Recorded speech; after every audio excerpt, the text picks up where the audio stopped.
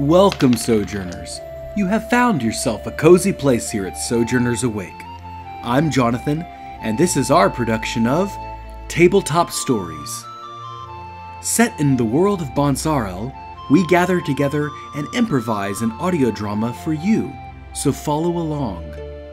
This epic fantasy is a world full of gods and monsters, and we play as ordinary heroes who delve into adventure, danger, and magic. The cast is a group of friends, all gathered around the table, rolling dice and telling a story. Sojourn with us and let your imagination wander into the world of Bonsarel. And so for now, our story continues. With each of you coated, the acid rain billowing in the distance, starting to pour down. As your feet step on the cratered plains, you now know why it is called the cratered plains because it looks like pockmarks of meteorites smashed into these plains long ago. You can guess maybe it was Mulgren's breath. Maybe it was portals into the abyss. Maybe it is strange demonic footprints that stomped through this land, leaving holes. As you move back and forth around them, between them, and around the craters, you notice that there are usually little bubbling pools of oozy purple liquid, burping and billowing and bubbling from the center of these craters. As each of you pass by, you see the clouds billowing in the distance. The howling of demons has ceased so far, Dagonia, as the four of you press on through this horrid landscape. But as you walk by these craters, taking a passing glance into this strange purple liquid at the bottom of these craters, small little images of men and women start to form from the bubbling liquid of the creator, and they issue out a beckoning hand, calling after each of you. Dagonia, join us. Kazuka, the water's just fine. Brother Dogoth, there's no better righteous fervor than joining us here at the bottom of the crater. You would not want to be destroyed by firewater desolation. Join us in safety. And Juan, you hear the strange burbling of your own native tongue. These frog people start to stand up in the craters, or at least what you think of them. They start to ribbit and croak, calling after you, promise safety from firewater desolation. Each of you are tempted to stop what you're doing, drop your items, and move towards these nauseatingly illusions, enchanting you into the pits of burbling purple liquid. I need each of you to describe to me, as these visions and illusions start to pass through your mind, you have one chance to do something before you are beckoned to join these foul beings in the bottom of this crater. Let us begin with Brother Dogoth. I am going to take. I'm basically going to to cover my ears and start praying, you know, in my head. So, trying to drown them out. Brother Dogoth, you place your hands upon your ears, trying to drown it out. Very good. Um, to resist, you will make some kind of prayer check if you have that skill. Dagonia, I do have prayer skill. Good, good. Save it for now. I'll tell you the target in a minute. Dagonia, how are you preparing to resist this illusion, this enchantment? I want to talk to Juan. It's like, what's going on? I mean, she knows more. I'm, you know more than us. I mean, you should help us. I, you know, this is something not right here. I, you know, I, I want to fight these things. I'm not going to just give in. So please tell me what's going on here. Can you understand them? So. This is not a time for fighting. This is a time for fleeing. This is not. I know, but yeah, but we have to do something, and I'm not just gonna stand here and cover my ears like Brother Tuga. I, you know, I'm a fighter. I need to figure out. But there's a time for bravery, and there's a time for getting the out of here. Juan. Okay, so let, let's just get out of here. Then I'm not gonna. I don't want to die. Dagonia, you just start running as fast as you can to escape this horrid situation. Before Juan can even respond. With that being said, Juan, how do you defend yourself against these illusions and enchantments? So I am fairly small, and I happen to have a fish hook and a string.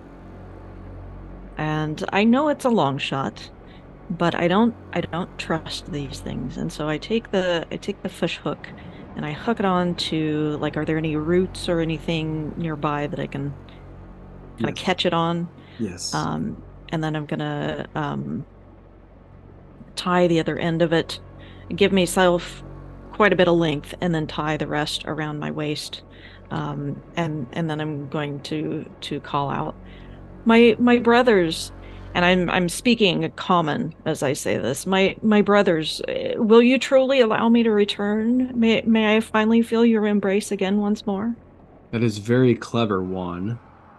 Uh, you will use any skill that you deem appropriate. Um, otherwise, you will use intelligence. Kazuka, how do you respond to these illusions and enchantments? Uh, through my occult study, Mm, um, my occult studies tells me that this is abnormal. Uh, a, a presence of maybe not so much demonic, but evil energy. And so I can actually speak insults to them if I so dare, but I think that's going to challenge my inertia. Um, so, but I think my intelligence, although not, not modified, will allow me to dismiss, I guess is the word I'm looking for, dismiss their seductiveness and their call to me. Mhm. Yes? Yes, absolutely. Kazuka, you can roll occult if you have it, or intelligence, whichever is higher. Each of you must now roll a d20 9 or higher, or you will succumb to the temptation and throw yourself into the crater. 18. Well, Success. Dagonia. Seven. Fail. Kazuka. A natural 20. Oh, Yeah. there's a point. Can can I unhook the fish hook from the roots and and try to secure it into Dagonia's clothing, and and try to pull pull her away from the crater? Oh, I love it. Dagonia, as you just move into flight or fight or freeze, you just choose fight and you start running through as fast as you can, trying to outrun these maddening, sickening cries of illusion. And what ends up happening in your fury, you actually run right into a crater. Your feet stop short as your toes go over the edge and your arms fly out, trying to catch yourself in balance. And at the last moment, Juan starts lassoing the hook around her head like a lasso. Juan, you let it loose. You're going to need to get a dexterity check nine or higher to catch Dagonia, or she falls into the crater. All right, as as as I'm doing this, I'm I'm calling out, "Help me, friends!" Uh, fourteen. 14 is a success, Dagonia. You feel your clothing goes tight, and Juan, your heels start dragging on the desert floor as Dagonia's much larger body starts to pull against your own weight, and you are at risk for falling in with her. You now need to roll a three or higher on a d4. Three.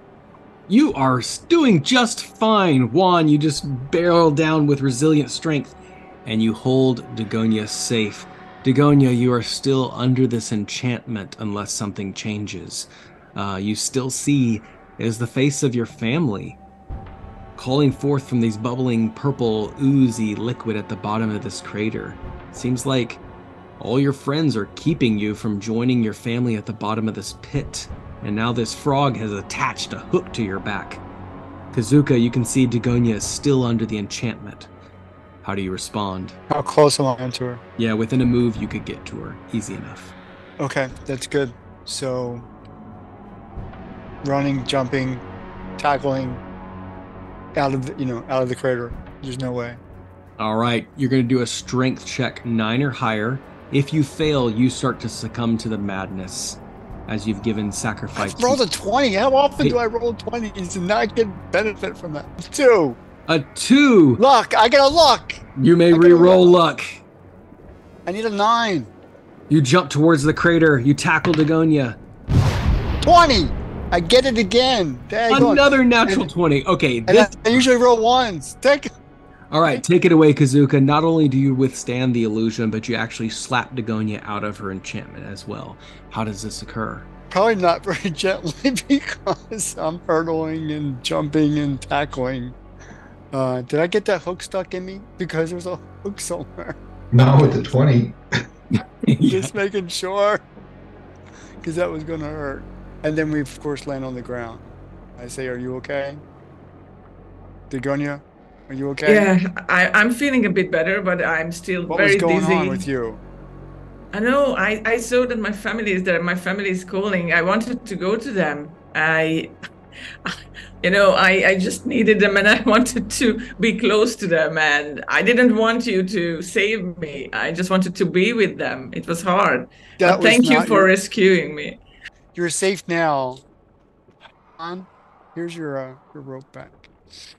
Thank you. I just kind of coiled Brother up. Dogoth was facing ahead in the direction they were going, and he turns around and he had no idea what was happening. He Brother just sees the chaos everywhere. Brother Dogoth, you start to see that uh, there is a petrified forest in sight.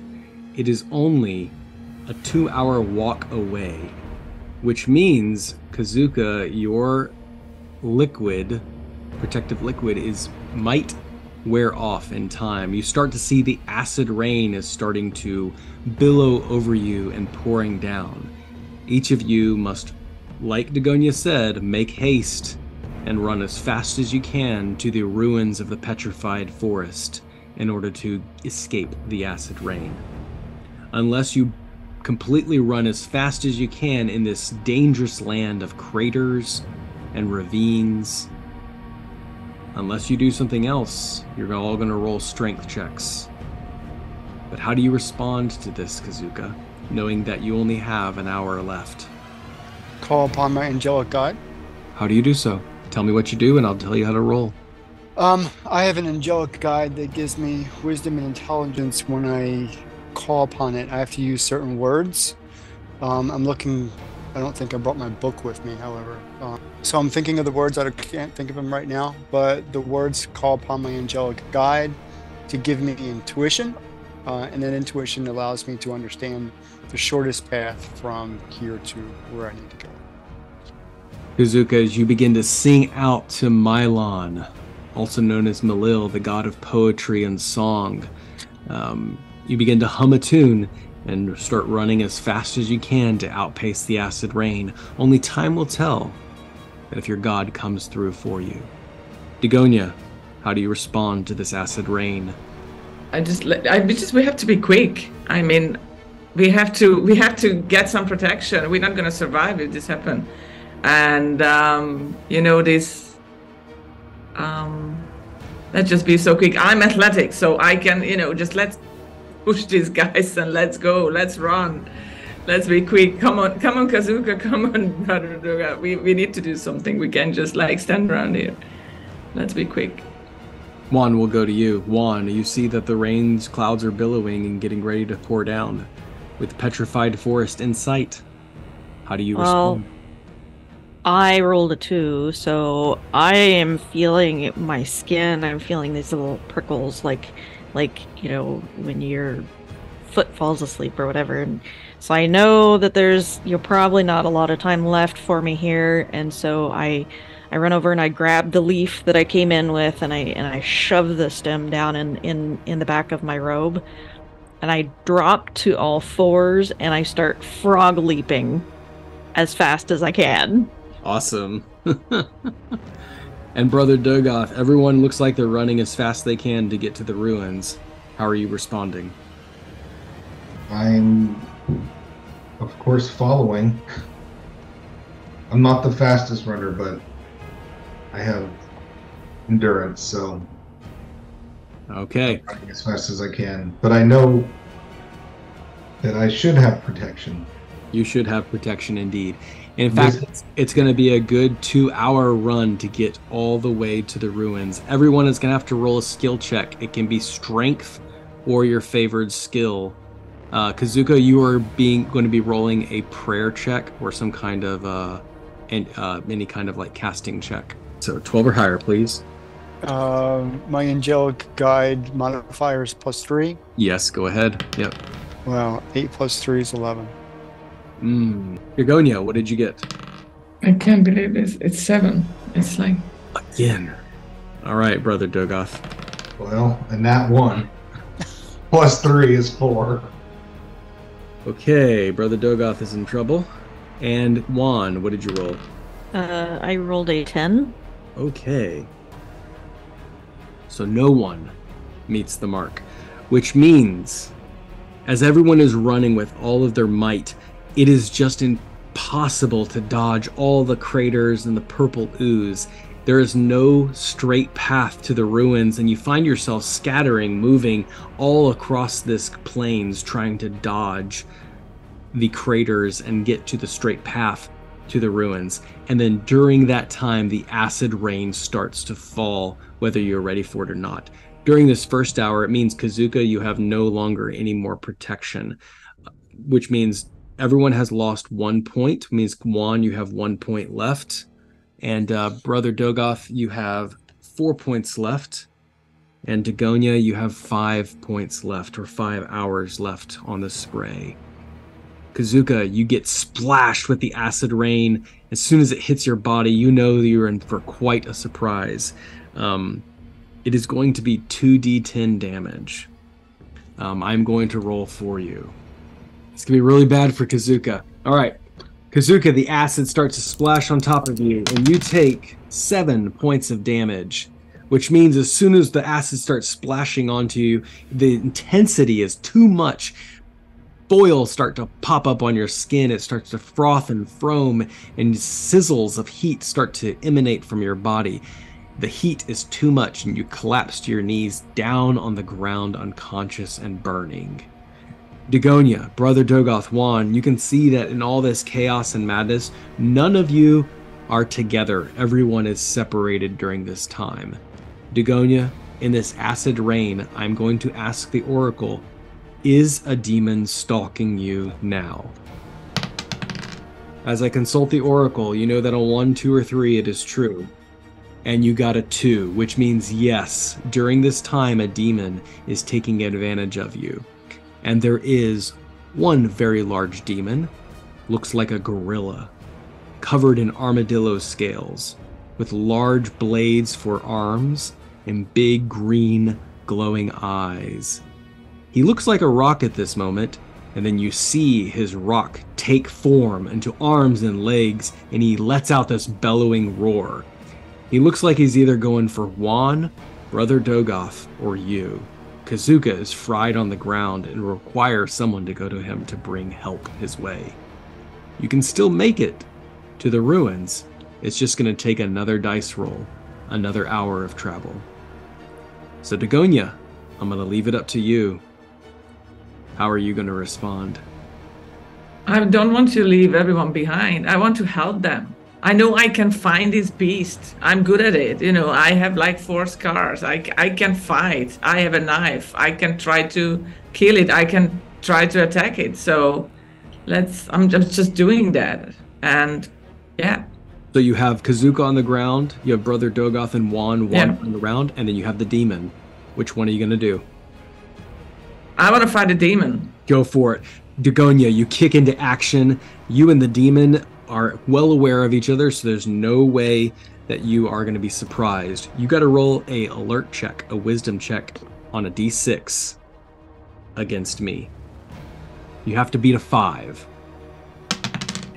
It's six. It's a six. Six. Dagonia kicks into action, blade drawn, ready to draw first blood. Dagonia, you may make your attack against the demon. It's a big creature, nine or higher. Entering combat. Dagonia has triggered combat with the demon by initiating the first attack. The demon is big, so she only needs to roll a 9 or higher with her weapon attack. She gets a plus 3 bonus for her weapon skill, and she rolls a 9. But sadly, she only rolls a 1 on her damage. However, because she drew first blood, she now knows the demon only has 9 hit points left. The demon retaliates with a swipe, Dagonia takes a defensive move by parrying with her knife, and she rolls a 17. She gets to add a d6 for damage and rolls a 2. For the first round, she is safe, and the demon is down 3 hit points. Brother Dogoth is next in the initiative. The monk runs over to Kazuka and places his cloak over the bard's body. He begins to pray to his goddess, Duvana of mercy. He rolls a 10 on a prayer check and grants back 3 health back to Kazuka. As a rule, I allow my spellcasters to maintain concentration on their spells for the next round. This means next turn, they continue to cast a spell without needing to roll a d20. Brother Dogoth will only then need to roll a d10 to add to the healing points. The frog folk, Juan, hops around the craters on her way to safety of the ruins. She must use her entire turn to make it all the way. However, Juan sees Dagonia standing up against the demon, and so she decides to turn around and charge into the fight. With an arc of acid rain flinging off her body, she pivots and squats in the mud, wriggling her hindquarters, and makes an incredible leap. In midair, she croaks loudly, extends her tongue, and slaps it across the demon's face. She has to roll a 9 or higher. Oh, no, she only rolls a 5. This is really low. The demon sees her coming, grabs hold of her tongue, and pulls her into its body. They smack into each other, and both receiving one point of damage. The demon is down to six hit points. Round 2. Dagonia realizes Juan just lost her oil and will not be able to make it back to the ruins in safety. Dagonia, however, has one point of oil left, so she has the ability to make it to the shelter on this turn, but she is concerned for Juan. So she rips off her cloak and scoops up the frog woman off the ground, covering her like a small child. She then bolts towards the ruined shelter. This will be difficult. She has to dodge out of the demon's way, pick up Juan, and make it to safety. So I'm ruling that she must roll a 15 or higher on a success. However, at that point, Kazuka interjects. He wishes to call out for blood and thunder, and this will grant a d6 to add for Dagonia's feat. He calls upon Mylon, the god of poetry and song, to aid the party. He must roll a prayer check, 9 or higher.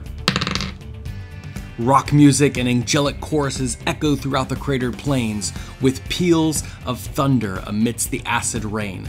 Kazuka rolls a 10 and is successful.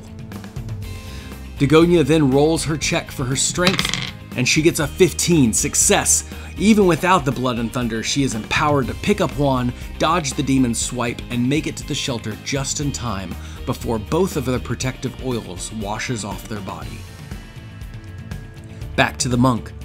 Brother Dogoth's cloak burns in acidic flash, but he is maintaining his spell, so he gets to grant five more points back to Kazuka. Sadly, Brother Dogoth loses some of his oil, and he only has three uses left to make it back to the ruins. At this point, I need to know can the demon charge Brother Dogoth? I will consult the oracle on a d6. And that's a 3. Yes, but. As the demon charges, he falls into a pit, so he can't make it this turn.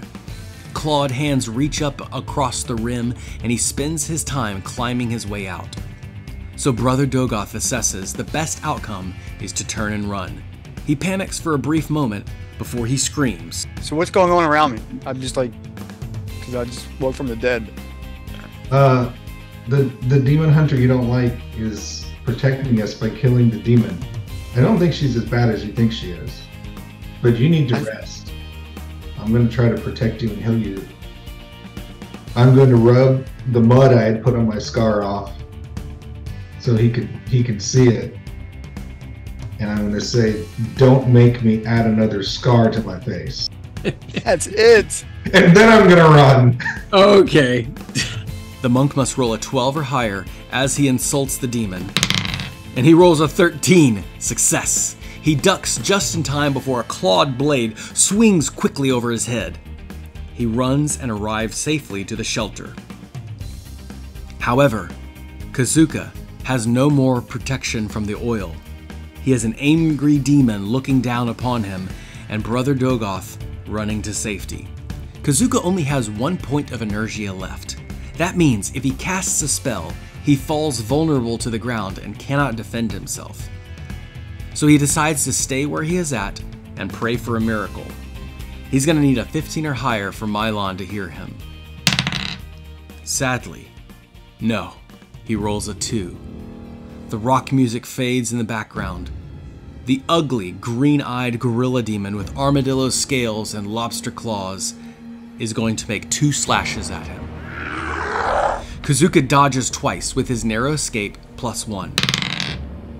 He rolls an 8 and takes 6 points of damage as he is slashed across the chest. He falls to the ground, head striking the desert floor.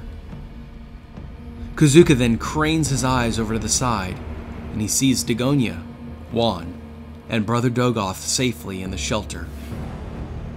As Kazuka looks beyond the demon, suddenly he sees a white dove pierce through the acid clouds. The sound of the demon's laughter cackles loudly throughout the desert. The pounding of its chest echoes in Kazuka's ear.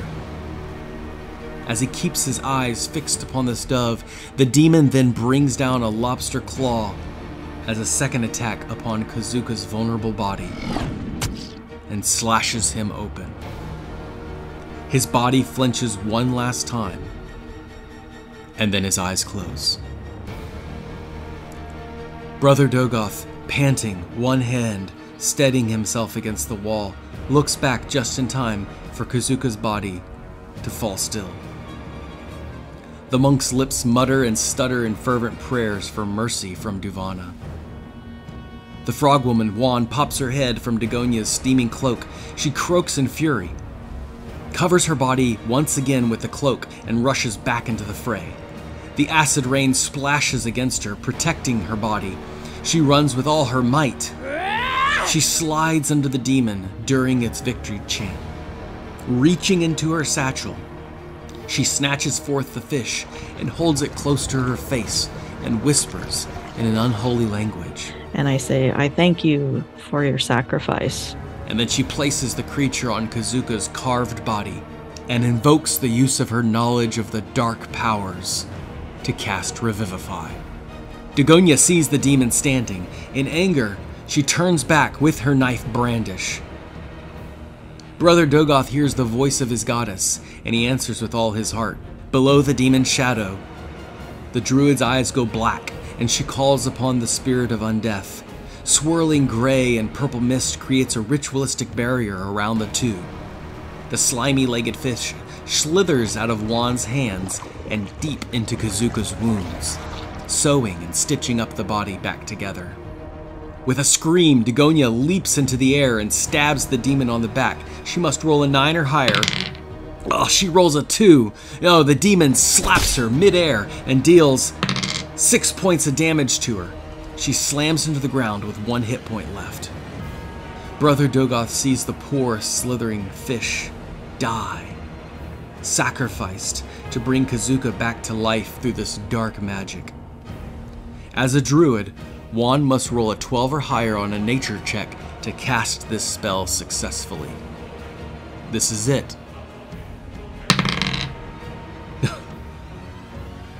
She rolls a 5. Because she tampers with dark magic, Juan immediately gains 5 trauma points. The spell goes awry, and Kazuka's body does not return to life. But the creature does not give up. It slithers through his veins, deep within his body, out through his eyes and mouth.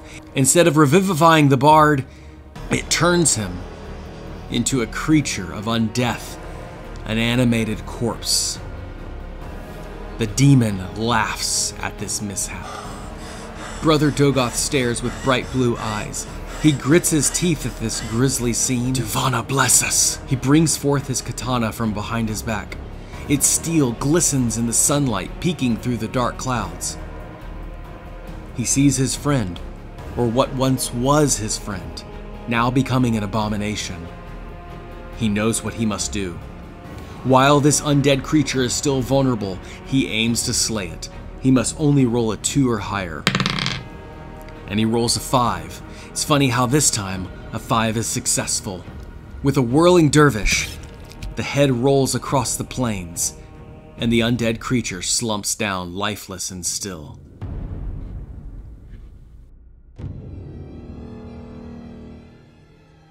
The frog woman druid, now furious, made this sacrifice of an innocent creature, dipping into dark and forbidden magic. With total regret and blind fury, she turns to the monk, opens her mouth, and strikes out at him with her tongue. She must roll a 12 or higher. And she rolls a 17. She's going to do 2d4 for her damage using her boxer feature. But I must ask can Brother Dogoth defend? Normally, I don't allow player to player violence, but this was a powerful scene. I decided they will compete 2d4 versus 2d4.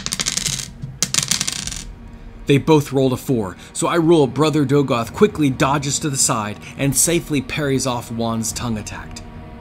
Because of that amazing role playing scene, Juan earns a luck point. Over off to the side, Dagonia raises up her weary body from the desert floor. She drags herself to stand despite the shooting pain in her leg. She rushes at the demon one last time. Oh, she rolls a 16, and she does only, oh, only two points of damage.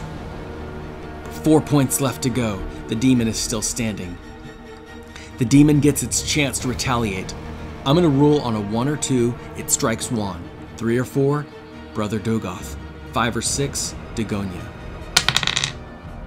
And it rolls a one. It turns to this strange druid casting the dark magic. Maybe it senses some sort of kinship, maybe it's just sensing some sort of competition. Either way, the demon attacks. On a 9 or higher, but Juan must hop out of the way.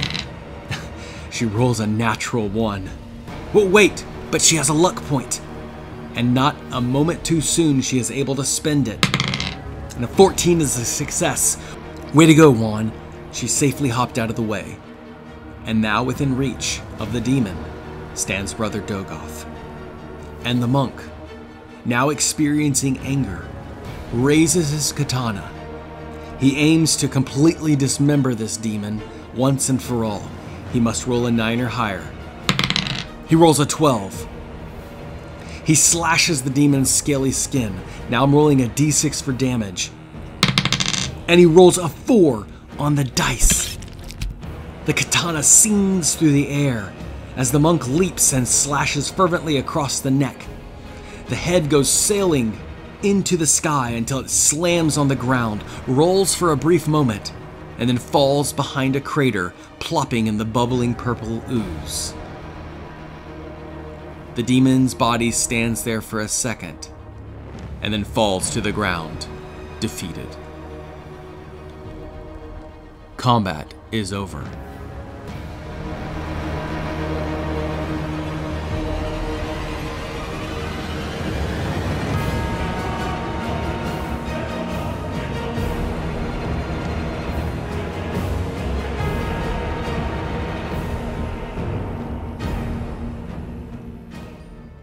Juan. Kazuka lies there, what once was Kazuka. You see Dagonia huffing and puffing over the dead body of the demon that is already starting to decay and turn into a crispy mess. Brother Dogoth just claimed this kill.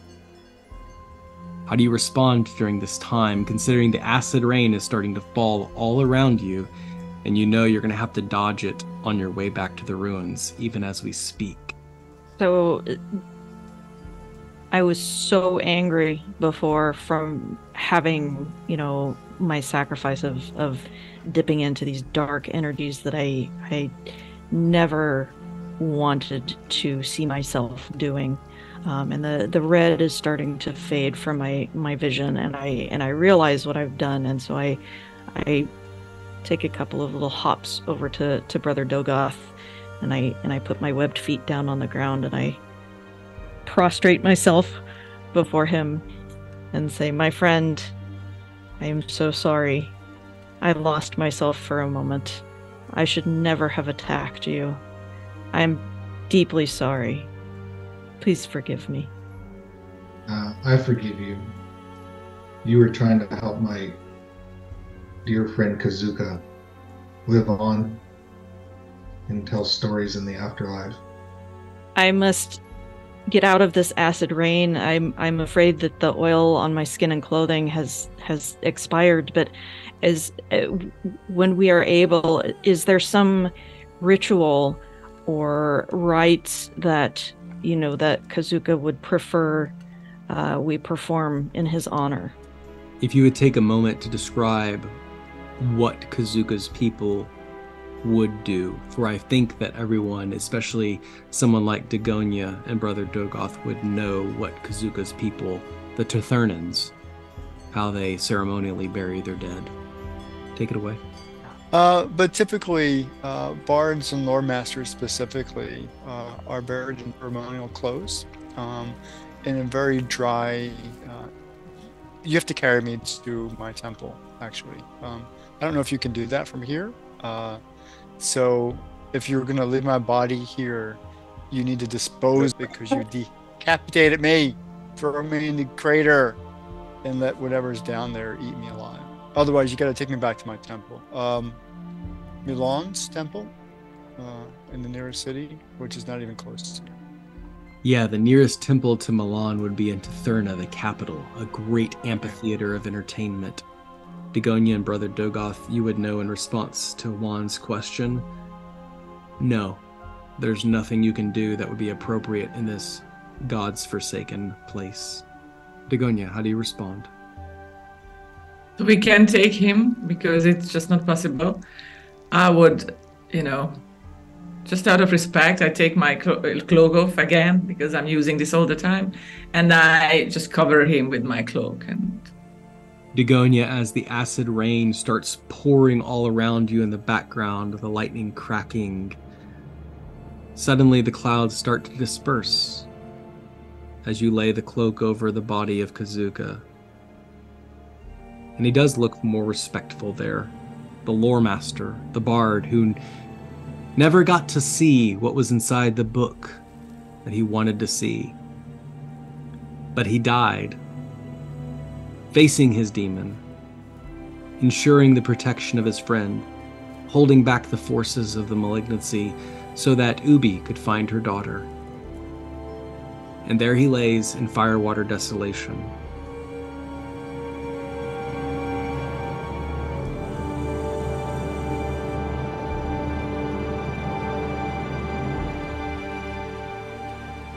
As the three of you move on to the safety of the ruins that you sought before, the clouds have now parted, and the desolation becoming increasingly hot. For now, the howls of the demons have ceased. Though your wounds, you are weary. You make a small camp, shoring up your defenses your backs against these ruined walls, what once was the castle of Firewater City. Looking beyond in this horrible place to find Sasha, you have to go through the petrified forest, which is next. And Juan, as you look on, you wonder if you'll ever find this relic, which connects you to the Union and hopefully connects you to your people. But after the trauma you received today, is it possible that you'll ever be connected ever again? Only time will tell. And so for now, our story concludes.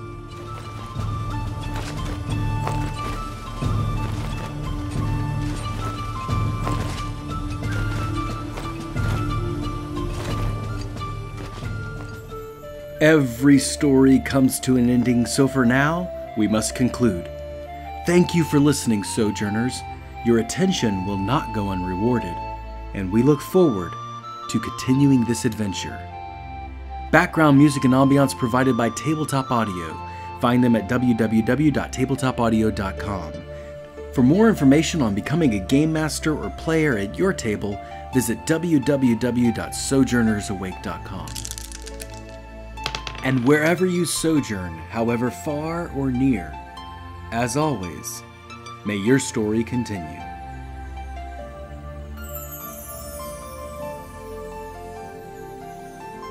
That was not your fault. what? Read the chat. anyway, so we got a really cool storyteller here. He's getting going off left field. Anyway,